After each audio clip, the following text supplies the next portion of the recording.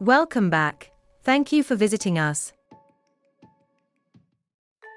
The agile gibbon, Hylobates agilis, also known as the black-handed gibbon, is an old-world primate in the gibbon family.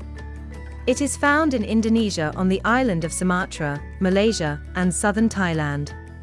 The species is listed as endangered on the IUCN Red List due to habitat destruction and the pet trade. It has fur varying in color from black to red-brown. The brow is white, and the male can be recognized by his white or light gray cheeks. Additionally, the male is slightly larger than the female. Like all gibbons it is tailless. With its long arms they swing on branches, brachiating at a fast pace. Like all gibbons, it lives in monogamous pairs in a strictly enforced territory, which is defended with vigorous visual displays and songs.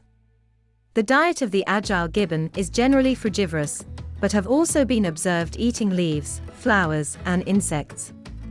Females give birth to a single offspring after seven months gestation. The young gibbon is weaned at barely two years of age.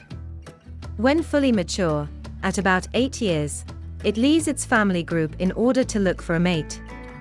The agile gibbon is found on Sumatra southeast of Lake Toba and the Singkil River, in a small area on the Malay Peninsula and South Thailand near the Malaysian border.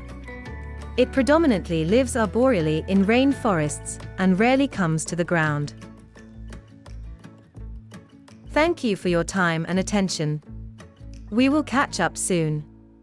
Bye.